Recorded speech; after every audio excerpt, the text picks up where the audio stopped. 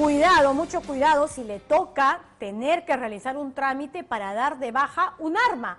Lo que van a ver a continuación es un descarado acto de corrupción dentro, además, de una comisaría de la Policía Nacional. Hasta ahí, ¿qué pasó? Hasta ahí acudió un joven profesional preocupado, de manera legítima, por supuesto, por poner en orden la pérdida de una pistola y salir pues de toda esta lista de licencia vencida. Fue para denunciar la pérdida y terminó recibiendo una propuesta corrupta de esas que más de uno seguro ha recibido. Todo, todito quedó registrado en video. Dayana Ciesa, Richard Mandujano y Walter Jiménez con el reportaje.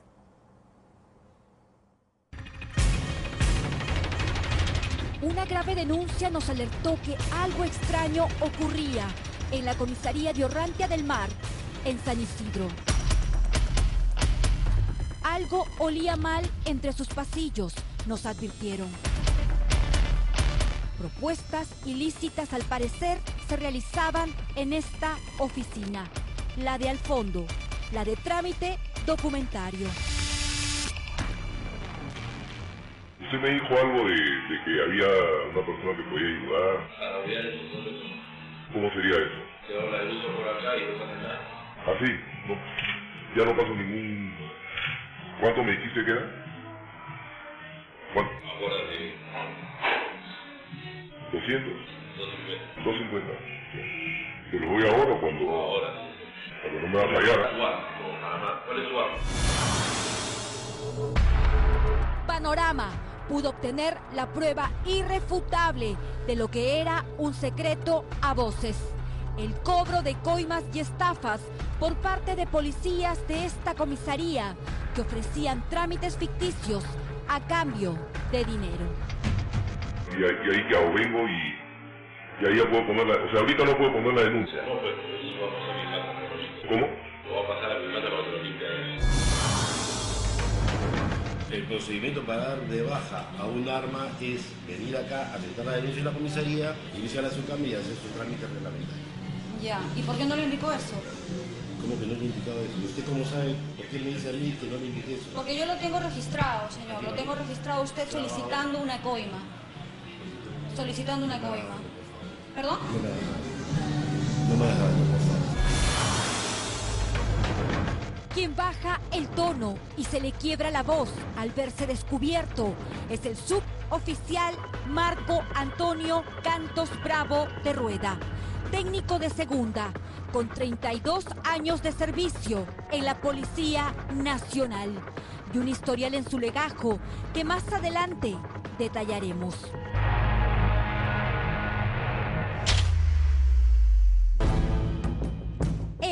Actualmente es el encargado de la oficina de trámite documentario y el responsable, según nuestras fuentes, de tanta irregularidad en esta sede policial. No tenía por qué cobrarle nada. Bueno, ya, yo también cobré mal ya. Discúlpeme, por favor. Dame una oportunidad. Lo más grande chorear y no le pasa nada.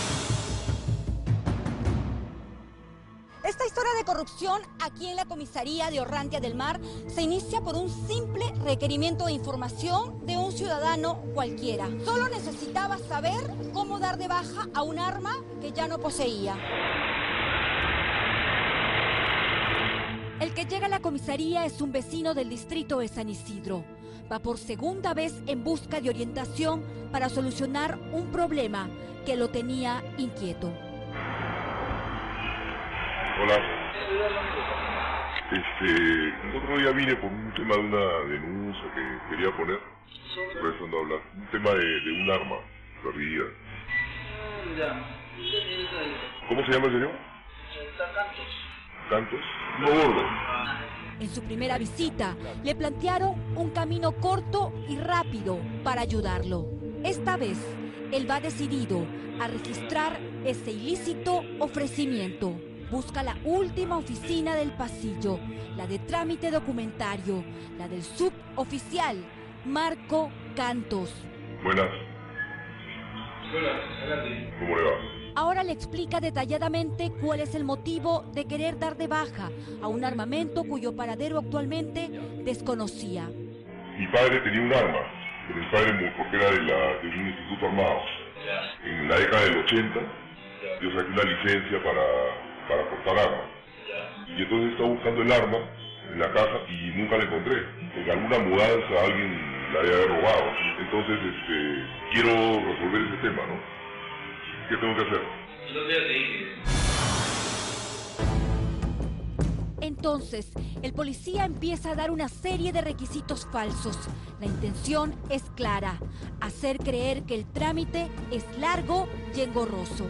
¿Cómo es el trámite, el trámite regular? O sea, ¿qué es regular? Es, hacer una denuncia, ir a que pase tu examen, una prueba de eh, absorción atómica. ¿Y ahí otro examen más? ¿Y ahí qué?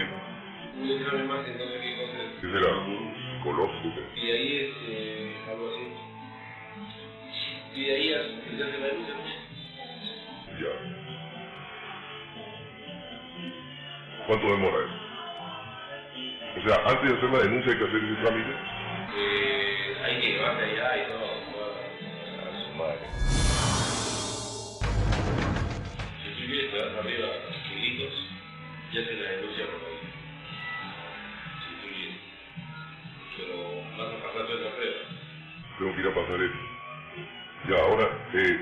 dijo algo de, de, que había una persona que podía ayudar. A rodear el. ¿Cómo sería eso? Te hago la denuncia por acá y no pasa nada. ¿Ah, sí? No, ya no paso ningún... ¿Y qué es lo que me dan? ¿Me dan un comprobante de la denuncia? Lógicamente, claro poco a poco persuade al interesado. Entonces, ¿qué, qué, qué, qué tengo que hacer? Lo que tú a ti te conviene. Lo que sea menos, más rápido, ¿no? Más rápido. Sí, menos engorroso. ¿Ya ver tus datos? DNI. DNI número. ¿Cuánto tiempo se demora ese pata en...? Para mañana, control. Ah, para mañana, el toque. Ya. Así se concreta el vergonzoso pedido del policía. Es el momento en el que se registra la coima, esa que una vez más mancha el uniforme de esta institución. ¿Cuánto me dijiste que era?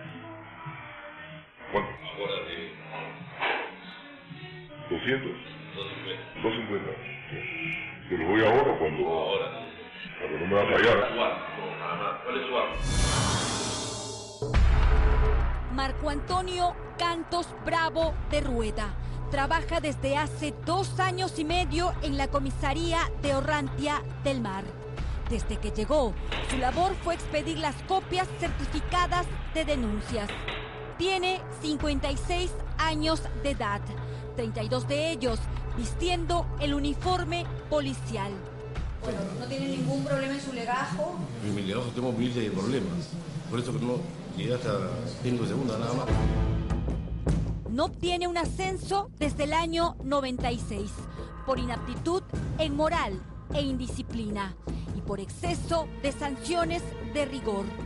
Que según su legajo ha sido sancionado en múltiples y reiteradas ocasiones por cometer actos contra el decoro, contra la obediencia, abandono de servicio, por negligencia, por actuar en contra del espíritu policial, por no cumplir el deber profesional y proceder de manera incorrecta con las directivas, planes, instrucciones y normativas de la institución. Una larga lista de sanciones en todos estos años, pero él sonríe, mantiene el buen humor.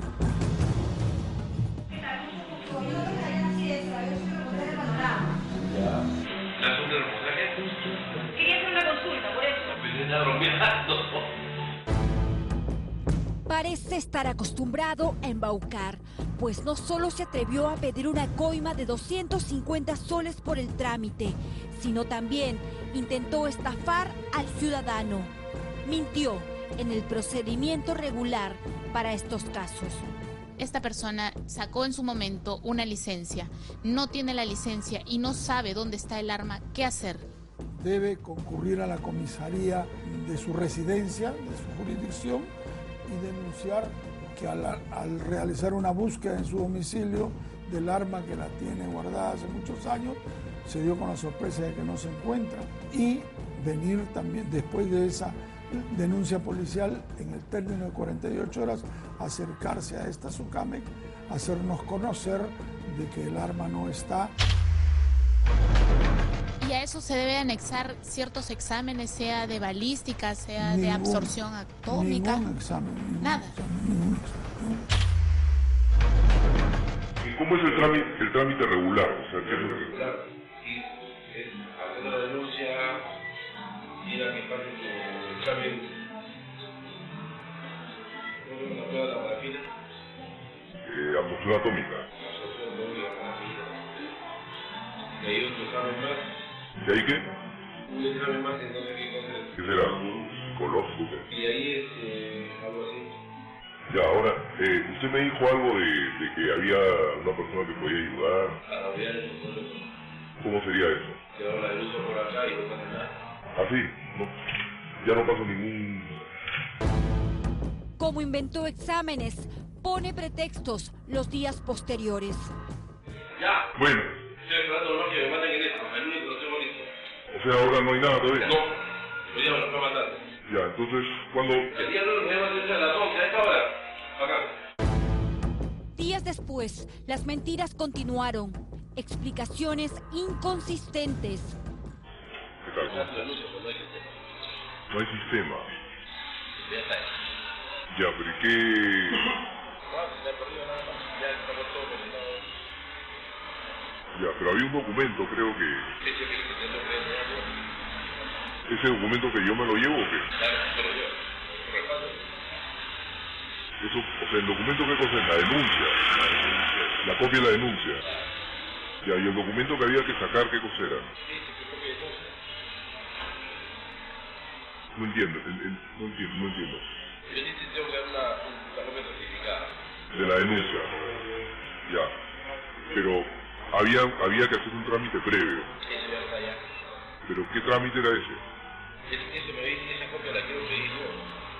Pero esa copia no está. No está. Este es el documento que el suboficial Marco Cantos ofreció a cambio de los 250 soles. Una copia certificada gratuita, es decir, un documento que no tiene ningún valor económico.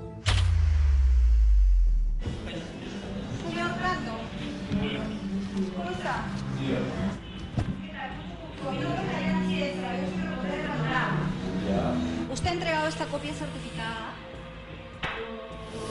Sí, ¿Y por qué usted le ha cobrado 250 por este papel? no me hagas daño, por favor, te lo suplico. Si quieres me arrodillo, pero no me hagas daño, ¿sí?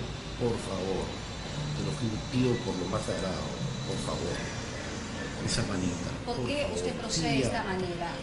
Eso no es correcto. Usted sabe que esto, Ya, sí. esto es un acto de sí, corrupción. sí, sí, por supuesto que sí.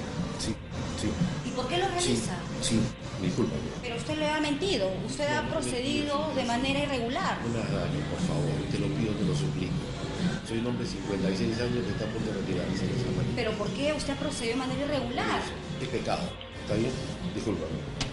Discúlpame, por favor, no me hagas daño. ¿Por qué lo ha hecho?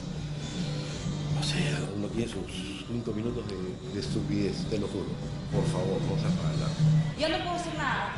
Usted ha cometido un acto de corrupción y esto se tiene que poner en conocimiento de su superior. Pero eso debió pensar antes de cometer el acto de corrupción.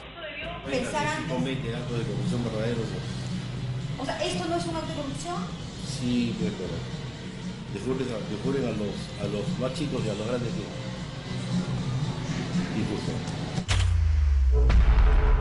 ¿Cuánto me dijiste que era? ¿Cuánto? Ahora, sí, 200. 250. 250. Pero voy ahora o cuando... Ahora. Cuando no me va a fallar. ¿Cuál es tu arma? ¿Quieres que llame a mi comisario acá? Pero lo hablamos acá, por favor. Llámelo al Porque comisario. la verdad que me da vergüenza. que- Llámelo al comisario y que entre mi camarógrafo también.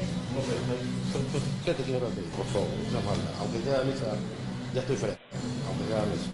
Pero ¿qué es lo- yo quiero ver al comisario. Lo voy a traer acá, por favor. A ver. Fue en busca del comisario, pero nunca más salió de la oficina.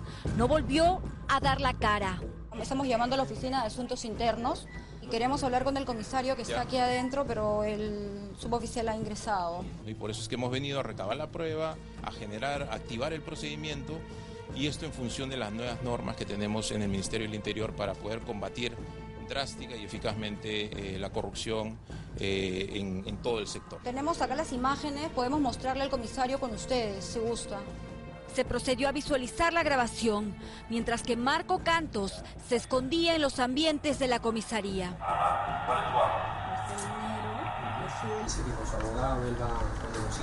En el Ministerio Público, la entidad que esté encargada del frente anticorrupción.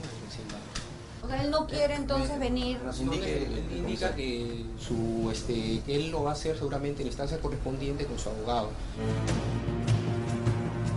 La corrupción, sea en el nivel que sea, debe ser puesta al descubierto. Los malos policías deben ser depurados y finalmente sancionados. ¿Cuánto me dijiste que era? ¿Cuánto? Ahora de 200. 250. 250. Te lo doy ahora cuando, Ahora. cuando no me va a fallar. Suar. Nada más. ¿Cuál es su